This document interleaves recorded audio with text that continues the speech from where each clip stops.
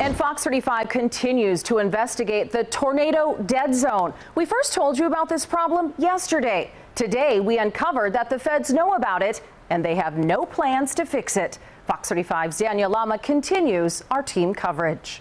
The feds say they know there are gaps in the radar coverage. They did a study on it and concluded those gaps do not need to be filled. I don't like that idea at all. At all. There's a lot of people here.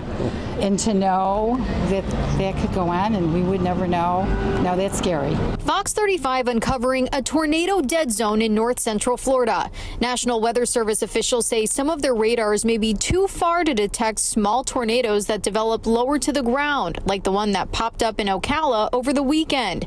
Part of the region out of reach is the Villages, which was the fastest growing metro area in the country over the past decade. I think it's um, critically important that early warning is, is part of the notification system for people so that they can um, take shelter and be aware of things. NOAA has studied the holes in radar coverage. According to this report, they found that the poor radar coverage does not make much of an impact on warnings. They concluded that the 143 radars they have now carry out the mission of protecting life and property.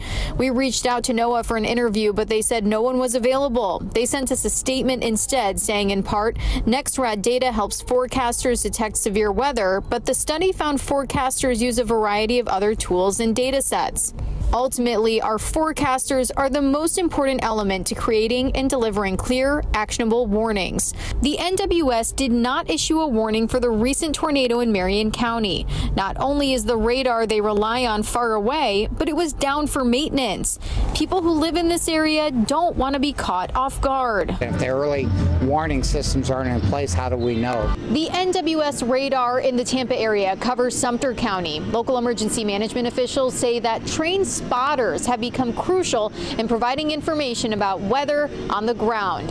In the villages, Danielle Lama, Fox 35 News.